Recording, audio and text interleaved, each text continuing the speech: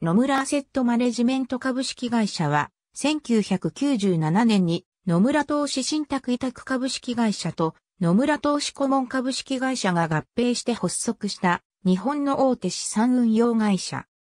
野村ホールディングス参加で資産運用残高は約51兆円。2014年4月、グピーフがゴールドマンサックスアセットマネジメント、野村ファンド、リサーチテクノロジー株式会社、野村アセットマネジメントの3社に公的資金の運用を委ねたことが分かった。同年10月、グピーフは国内株式での運用比率の目安を12%から20%台半ばに大幅に引き上げる方向で調整に入った。麻生太郎財務省との協議を経て、塩崎康久厚生労働省が決定するという。従来の上限は18%だった。一連の動きに対しては、株価対策の道具にされかねないという批判が出ている。チーフインベストメントオフィサージャパンエース、グピーフアポイントスマート、ベータマネージャーズヘッドラインズエイプリル07、2014、日経新聞公的年金、小売回り投資へゴールドマンなどに、委託2014年4月2日不情報元日本、経済新聞長官、安倍首相の経済政策、アベノミクス相場に乗って、約2年で約2800万円の含み益を得ていた。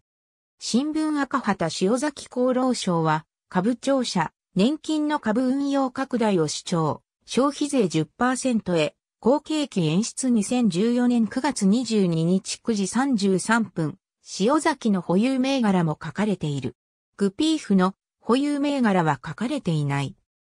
日経新聞公的年金、国内株運用20%台半ばに大幅上げ、調整2014年10月18日2時情報、元日本経済新聞電子版、日経新聞公的年金、株式運用の上限撤廃20%台に、拡大へ。2014年8月10日2時情報、元日本経済新聞電子版アベノミクスの第3の矢成長戦略の一環。東洋経済オンラインアベノミクス3の矢で、クピーフ見直しが再浮上。2013年6月11日。新聞赤旗年金削減に歯止めを。2014年10月16日。佐々木の利明年金の安全運用逸脱、積立金の株投資を。批判。14.0603この時点で外国株式が15%運用されている。動画も配信されている。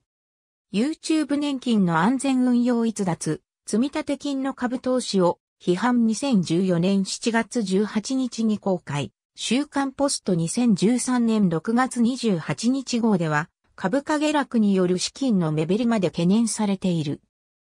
ニューポストセブン、安倍政権高い支持率維持のため、国民の金に手をつけた2013.06、1816時、第一生命の長浜俊弘は、株安に伴って日本株の占める比率が所定の数値を下回ると、その調整のために買いを入れることになります。いわば、下がれば下がるほど買うロジックなので、結果的にグピーフは市場の安定化装置的な役割を果たしているのです、と述べる。